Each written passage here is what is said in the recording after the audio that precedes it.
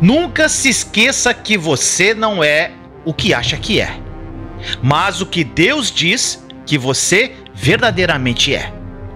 Em Cristo você é abençoado, você é amado, você é escolhido, você é perdoado, você é predestinado, você é selado, você é herdeiro, você é agraciado. Deus não nos vê como nós mesmos nos vemos. O plano dele para nós é bem maior do que podemos imaginar. Medite nas Escrituras e identifique quem você é em Cristo. A Bíblia fala que no mundo teríamos aflições, mas que devemos ter bom ânimo, pois ele venceu o mundo. E você também vencerá. Não por mérito seu, não, mas sim pela graça que sobre nós foi derramada pelo sangue de Jesus naquela cruz.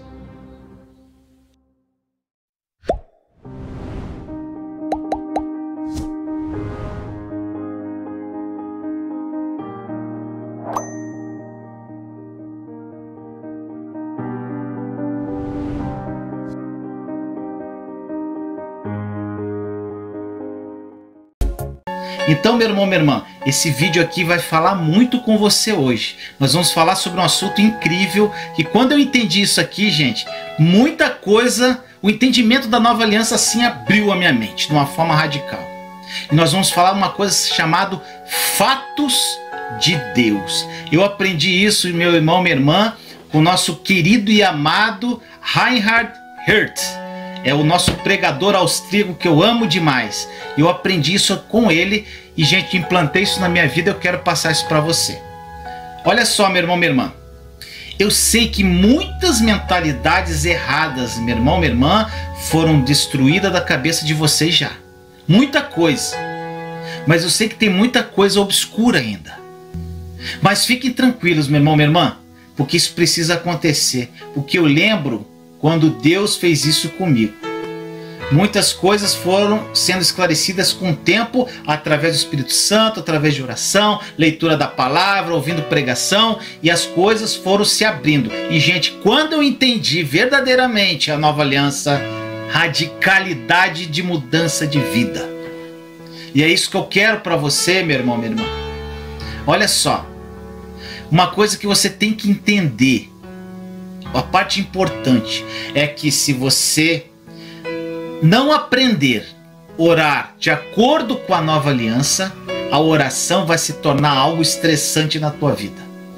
As pessoas, meu irmão, minha irmã, acham difícil orar da forma correta, porque eles não entendem a nova aliança. E sabe por quê que eles não entendem a nova aliança? Porque eles estão com os corações endurecidos e verdadeiramente influenciados pelas tradições da religião. Eu falei no vídeo passado sobre tradição da religião, gente. Eu disse na última live. Outra coisa que eu disse na outra live, gente, na outra live, não no vídeo, melhor dizendo, né? Se você não orar em fé, não ore. É melhor que você não ore. Meu irmão, meu irmão, um grande problema que eu vejo que existe, gente, é que as pessoas não sabem ler, interpretar e não entender a Bíblia, a Escritura, gente, porque eles foram ensinados da forma errada. Foram ensinados tradições em cima da palavra de Deus e você não vai conseguir me mostrar em nenhuma das cartas de Paulo, de João, de Tiago que nós devemos pedir coisas pessoais para a nossa vida. Se você tiver alguma passagem de qualquer carta que eu falei aqui, as cartas de Paulo, João, Tiago, tudo lá, depois do Atos dos Apóstolos, que você precisa pedir coisas pessoais para a tua vida, eu quero que você me mostre. Eu preciso que vocês entendam isso, meu irmão, minha irmã, que Jesus não viveu na nova aliança. Ele trouxe a nova aliança com a sua morte de cruz. Isso tem que estar tá claro na tua mente. Você tem que entender que os evangelhos estavam sob a ótica ainda da velha aliança. Você precisa entender quando ler os evangelhos para quem Jesus estava dirigindo aquela palavra. Se era para os gentios ou se era para os judeus. Então você pode falar, mas então, Vinícius, o que Jesus falou não é importante? Gente, nada a ver, claro que foi importante, muito importante. Mas você precisa ler os evangelhos sobre a ótica da nova aliança. Aliás, meu irmão, minha irmã, toda a Bíblia você tem que ler sobre a ótica da nova aliança. Porque tem muitas coisas que Deus já nos deu na nova aliança que está lá no Antigo Testamento ou nos evangelhos que é uma, é uma promessa de Deus. Mas com a obra consumada da cruz virou uma realidade. Então, meu irmão, meu irmão, você tem que estar muito atento a isso. Olha o que o próprio Jesus disse em João, gente. João capítulo 16, versículos 12 a 15. Tenho ainda muito que lhes dizer, mas vocês não o podem suportar agora. Mas quando o Espírito da Verdade vier, ele os guiará toda a verdade. Não falará de si mesmo, falará apenas o que ouvir, e lhes anunciará o que está por vir. Ele me glorificará, porque receberá do que é meu e o tornará conhecido a vocês. Tudo que pertence ao Pai é meu. Por isso eu disse que o Espírito receberá do que é meu e o tornará conhecido a vocês, gente. Se você pegar tudo aquilo que Jesus disse e aplicar a você a forma que ele disse, você vai ter muitos problemas, meu irmão, minha irmã. Porque muitas vezes Jesus estava se dirigindo aos judeus naquela época, não a você. Você tem que entender a história e o contexto. Jesus disse para os próprios discípulos que eles deveriam obedecer à lei, gente. Jesus disse às pessoas que se sua mão te levasse a pecar, você deveria cortar ela.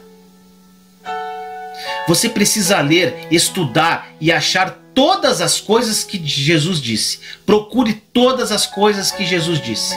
Mas entenda que ele não vivia na nova aliança e somente quando o Espírito da Verdade viesse é que eles entenderiam muitas coisas.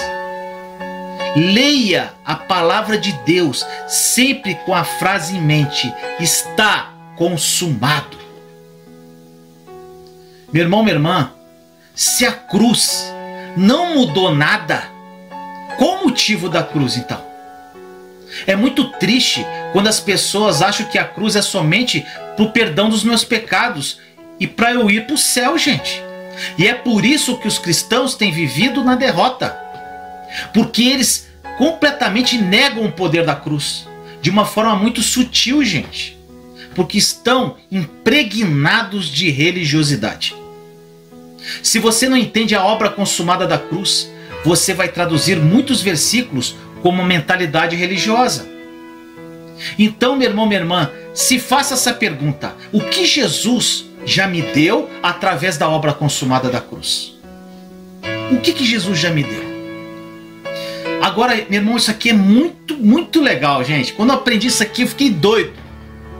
Entenda isso, gente. Há uma diferença entre promessa e fato de Deus. Mas Vinícius, fato de Deus, o que, que é isso? Isso não está na Bíblia. Eu nunca li isso. E é fato, meu irmão, meu irmão. É sim, verdade que você está falando. Esse termo não está na Bíblia. Esse termo fato de Deus eu aprendi com o pastor Reinhardt. Na verdade, ele não gosta de se chamar de pastor, com meu amigo Reinhardt. E através disso eu identifiquei diversas promessas que já me foram dadas através da cruz de Jesus. Olha só, gente, o que, que acontece? Fato de Deus é um termo para você identificar de uma forma mais simples na palavra de Deus. Então, o que, que quer dizer isso? Fato de Deus são promessas de Deus que já me foram dadas. Fato de Deus é um fato consumado, já foi me dado fato de Deus, grava isso. E promessas de Deus que eu receberei no futuro são promessas.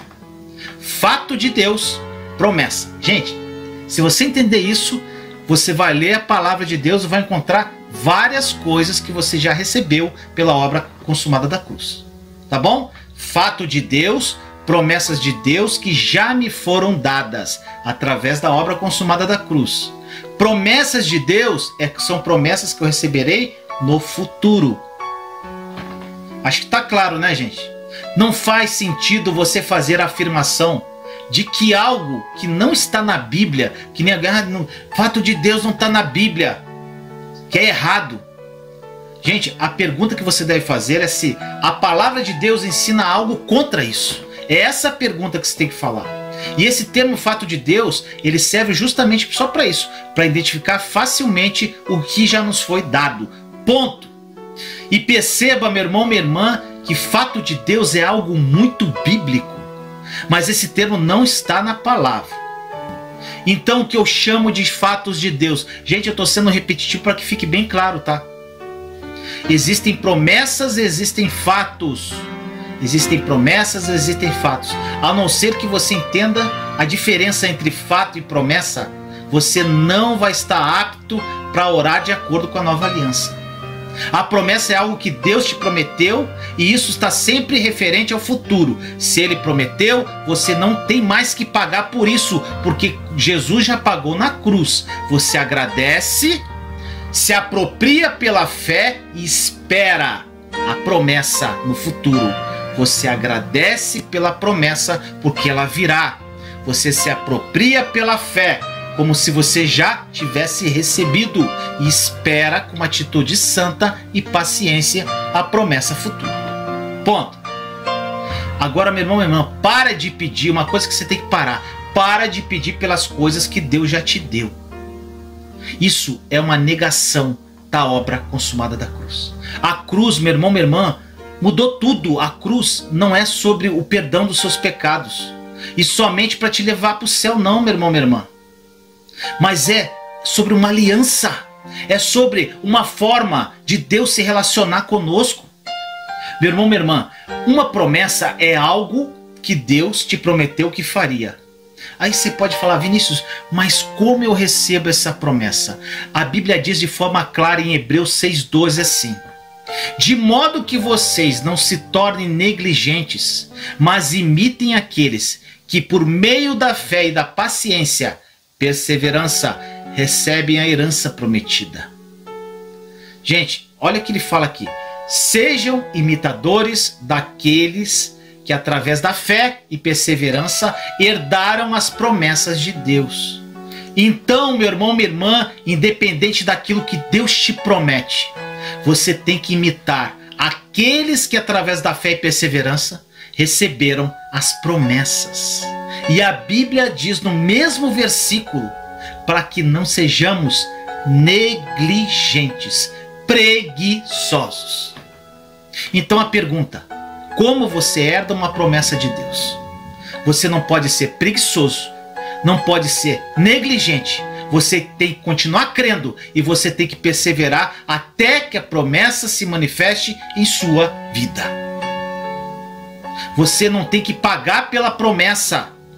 Você não tem que pagar pela promessa, porque Jesus já pagou pela promessa. O problema se encontra quando nós não entendemos a nova aliança e nós acabamos tratando uma promessa como um fato de Deus e a gente mistura tudo. É por isso que ela nunca acontece, gente.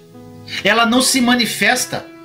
Nós não a recebemos, nós não experimentamos. E o que nós fazemos? Sabe o que a gente faz? Aí que a religião entra.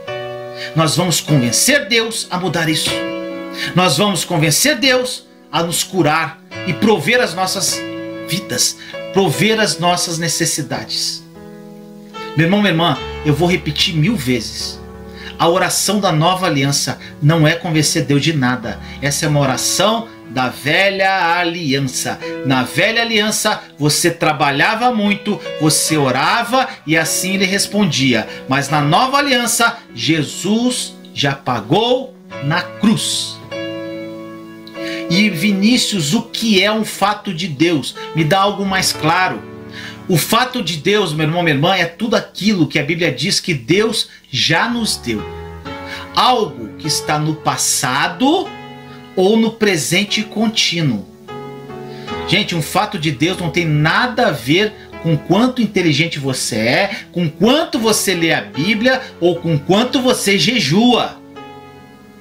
Uma promessa diz respeito ao futuro, mas o fato de Deus sempre diz respeito ao passado e, no máximo, ao presente contínuo.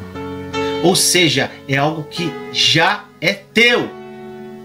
Nós estamos falando, meu irmão, minha irmã, da nova aliança, da oração da nova aliança. A cruz é onde a nova aliança foi selada. A obra da cruz é totalmente suficiente. Uma das coisas mais difíceis para todos os cristãos de todo mundo, sabe o que, que é? É parar de pedir, meu irmão, minha irmã. É difícil parar de pedir. Eles não querem entender que tudo já foi pago na cruz. Nós já fomos completamente abençoados por Deus. Eles não querem entender isso, gente, querem pedir. A oração da velha aliança tenta convencer Deus de te abençoar. E muitas pessoas, gente, usam uma passagem que eu usei muito tempo, meu irmão, minha irmã, eu tenho certeza que você usou. Que é assim, em 2 Crônicas 7,14. Se o meu povo, que se chama pelo meu nome, se humilhar e orar, buscar a minha face e se afastar dos seus maus caminhos, dos céus o ouvirei, perdoarei o seu pecado e curarei a sua terra. Meu irmão, minha irmã, isso, eu já orei muito essa passagem. Isso é velha aliança. Se humilhar para convencer Deus, para Ele te dar algo, isso é velha aliança. Então você tem que parar de tentar convencer Deus e convença o seu próprio coração todos os dias.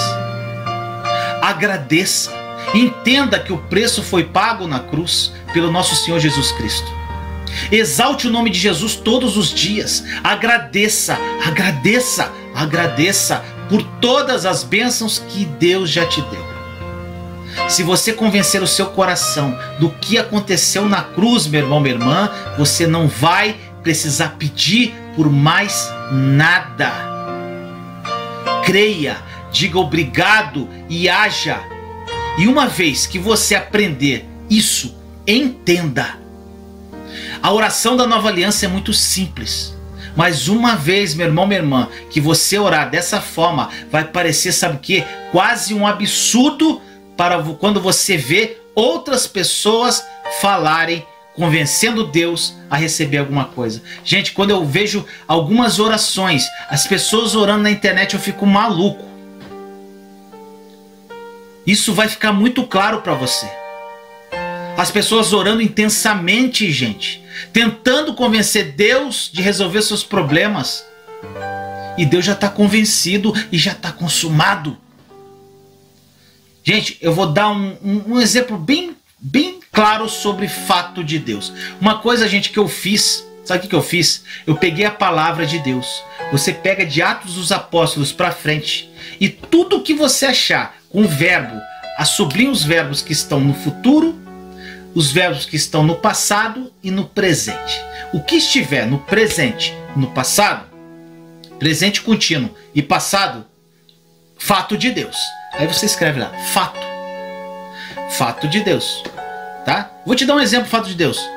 Deixo-vos a paz, a minha paz vos dou, não a dou como o mundo a dá. Jesus falou isso. Deixo-vos a paz. Ele já deixou. Deixo, eu deixo, está no presente contínuo. Então, meu irmão, minha irmã, ou se estiver no passado, isso é tudo é fato. Você não tem que pedir, você tem que se apropriar, agradecer e se apropriar pela fé. E nós ficamos pedindo para Deus fatos que já são nossos. Eu acho que está claro isso, né, gente? Então pegue lá de Atos dos Apóstolos para frente e sublinha todos os verbos que você achar e tenta identificar o que é fato de Deus e o que é promessa, que é futuro.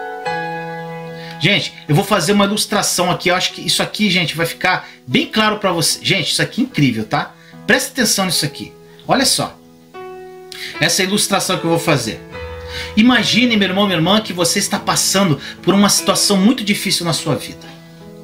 Você está enfrentando uma dificuldade, circunstâncias terríveis que impede que você experimente a plenitude da vida que Jesus tanto prometeu para que você vivesse. Como está escrito em João 10, 10, que diz que eu vim para que tenham vida e tenham vida em abundante e tenham uma vida plenamente, que dizem outras traduções. E você tá cheio de problema e falando: como é que eu vou viver essa vida? Aí, meu irmão, minha irmã, vou te dar um exemplo real, tá? Aí você começa a orar. A orar e pede que outras pessoas ainda orem por você. Aí você ora com mais intensidade e continua orando. E por fim, além de orar, você começa a jejuar, porque a oração tá pouca, eu vou jejuar. Aí, meu irmão, minha irmã, você pede que Deus lhe dê força e mude as circunstâncias de tudo para você conseguir a tua vitória. Embora a sua oração, meu irmão, minha irmã, o jejum ou a oração de outras pessoas em si mesmos não sejam ruins, fazer isso, meu irmão, meu irmão, em relação aos fatos, aos fatos celestiais, aos fatos de Deus, realmente é ruim. Agindo, é, gente, agindo errado assim, nós transformamos um fato de Deus que está no presente em uma promessa que agora está lá no futuro e jamais será nossa. Sabe por quê? Ela permanecerá no futuro porque os fatos celestiais, os fatos de Deus, são ações passadas, algo que já aconteceu, enquanto as promessas são ações futuras, algo pelo qual ainda estamos esperando. Agora vamos às perguntas. O que está acontecendo? Por que essa oração não é respondida? Por que Deus não lhe responde e parece ignorar as suas orações? E as orações das pessoas que você pediu para orar por você. Sabe o que acontece? A frustração toma conta. E por fim, você fica tão desanimado que desiste. Talvez até de Deus alguns desistem. Então, meu irmão, minha irmã, um dia sua vida chega ao fim e você morre. E você fica diante de Jesus. Presta atenção nisso. E Jesus te dá as boas-vindas ao céu e pergunta se você tem alguma pergunta em relação à sua vida na terra.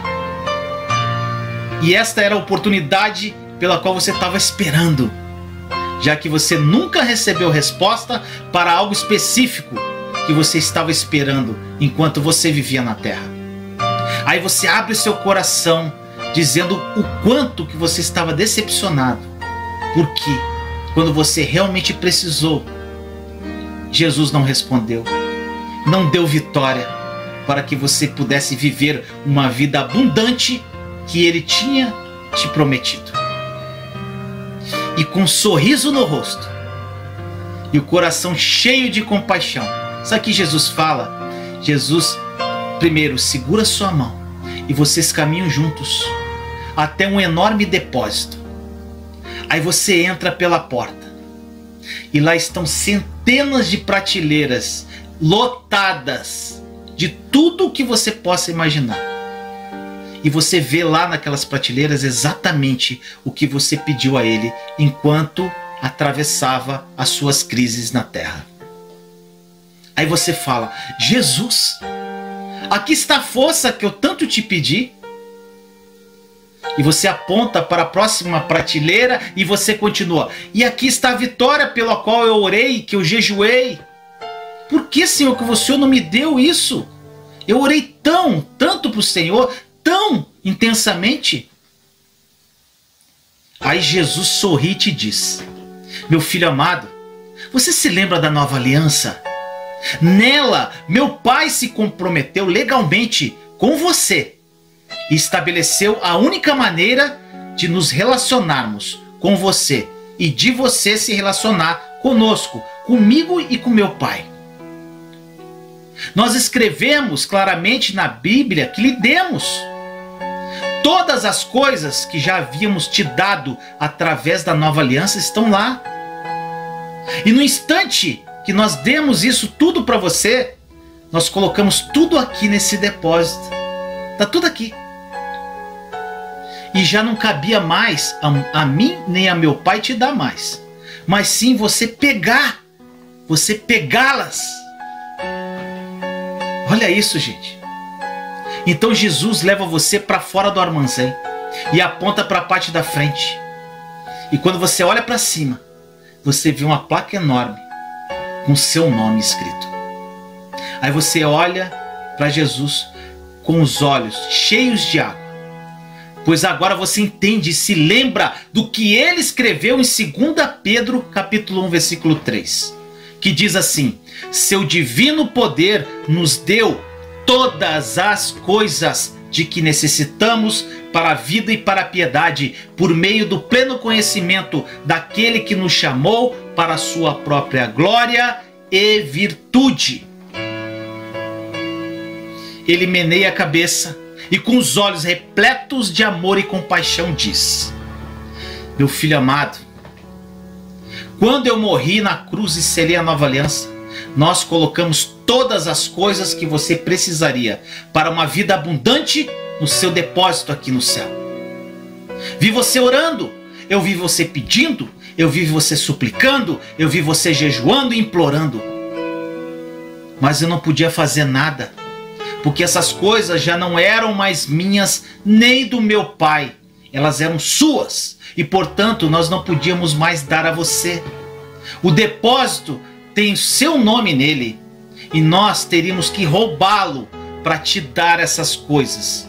E eu e meu pai não somos ladrões, Jesus te disse.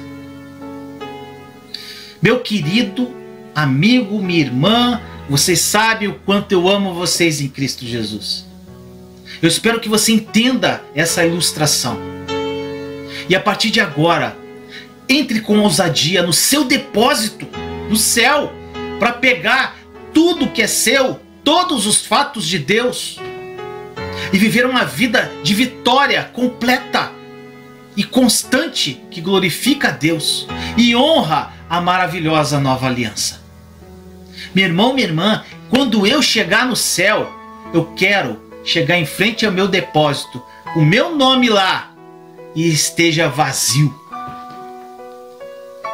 É vital, meu irmão, minha irmã, nós entendermos que quando nos achegamos a Deus em oração, nós não devemos convencê-lo de nada. Ele já nos deu todas as coisas através de Cristo e fica o tempo todo se esforçando para nos convencer a simplesmente nos apropriarmos pela fé e desfrutarmos da bela, maravilhosa e incrível nova aliança.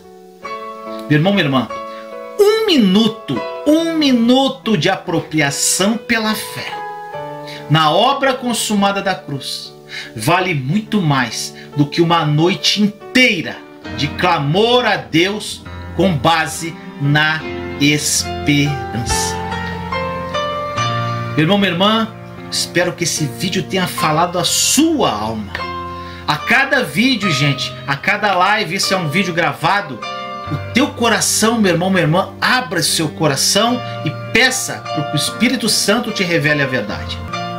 A verdade nos liberta e quem revela a verdade é o Espírito Santo. E quando ele revelou essa verdade da obra consumada da cruz e da nova aliança na minha vida, radicalmente minha vida mudou completamente. Tá bom, meu irmão minha irmã? Até o próximo vídeo. Te amo em Cristo Jesus. Imagine você ter ausência de preocupações.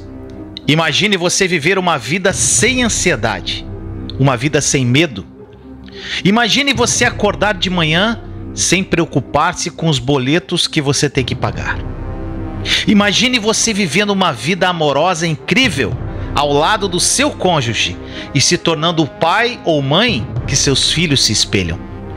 Imagine você ouvir a Deus e as suas orações sendo atendidas. Imagine você transbordando na vida de outras pessoas. Imagine você tendo experiências sobrenaturais com Jesus. Imagine pessoas sendo curadas através de você. Imagine. Imagine. Agora, pare de imaginar. Sabe por quê? Porque isso já é uma realidade. Jesus morreu por isso por essa vida plena. E sabe por que você ainda não vive isso tudo? Porque você não aprendeu a acessar. Pare de pedir por tudo que já te pertence e acesse essa vida sem limites pela fé. Somente pela fé.